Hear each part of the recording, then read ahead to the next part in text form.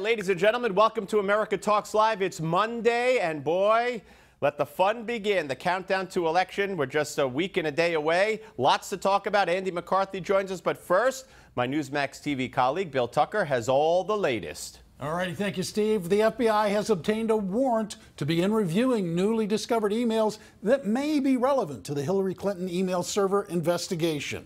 The newly discovered emails were found on a shared laptop between Clinton top aide Huma Abedin and her estranged husband, disgraced former Congressman Anthony Weiner. The FBI opened the Clinton email case after reopened it after potentially relevant emails were found while investigating Weiner. FBI Director James Comey is facing a great deal of criticism for releasing partial information in an election year. Former Attorney General Eric Holder writes in an op ed for the Post today that the decision was incorrect. It violated long-standing Justice Department policies and tradition. The news is looking up to help Donald Trump, by the way. Three polls released today show him gaining on Hillary Clinton, making her razor thin edge heading into the last week of the election. A lot of fun for those of us who are watching. Trump credits his boost to one individual. We never thought we were going to say thank you to Anthony Weiner. no. We never thought we were going to say thank you to Anthony Weiner.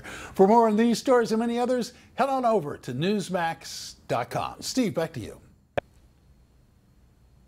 All right, Bill, thank you very much. And ladies and gentlemen, of course, when we left you Friday, uh, we told you about the breaking news uh, that the uh, FBI was reopening the investigation into Hillary's emails. Since then, they've gotten a search warrant, and they're looking at uh, up, Wall Street Journal says up to 600,000 emails on uh, a computer that uh, Huma Abedin and Anthony Weiner shared. Uh, Donald Trump made the announcement at one of his rallies. As you've heard, it was just announced on Friday that the FBI is reopening their investigation into the criminal and illegal conduct of Hillary Clinton. Hillary has nobody but herself to blame for her mounting legal problem. Her criminal action was willful, deliberate, intentional, and purposeful. And he had this uh, thank you for one Anthony Weiner. Huma. They just found a lot of them. We never thought we were going to say thank you to Anthony Weiner. Now, Donald Trump was very prophetic back in the summer when he warned everybody about this. Watch. So she's married to Anthony Weiner. Do you think there's even a 5% chance that she's not telling Anthony Weiner now of a public relations firm what the hell is coming across? Do you think there's even a little bit of a chance? I don't think so. Are there any women in this room who are in love with their husbands who wouldn't be telling them everything? You would or wouldn't? No, she said, I wouldn't, but I'm in love. No, you will. Of course, that was August of 2015. And he also put out a statement. Uh, let's look at the statement that he had put out. And this is from uh, August of this year. Huma is making a very wise decision. This is talking about the divorce. I know Anthony Weiner well, and she'll be far better off without him. I only worry for the country in that Hillary Clinton was careless and negligent in allowing Weiner to have such close proximity to highly classified information. Who knows what he learned and who he told?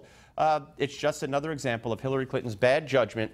It is possible that our country and its security have been greatly compromised by this. So he was right on target, ladies and gentlemen. Now, uh, Hillary Clinton uh, seems to think uh, it's not going to matter much. You have 11 days to go. What would you say to a voter who right now will be seeing you and hearing what you're saying, saying, I didn't trust her before, I don't trust her anymore right now, and they're heading to the ballot box tomorrow?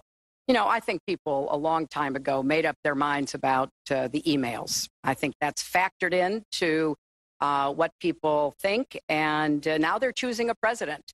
So I would urge everybody to get out and vote early in all the states that uh, have early voting.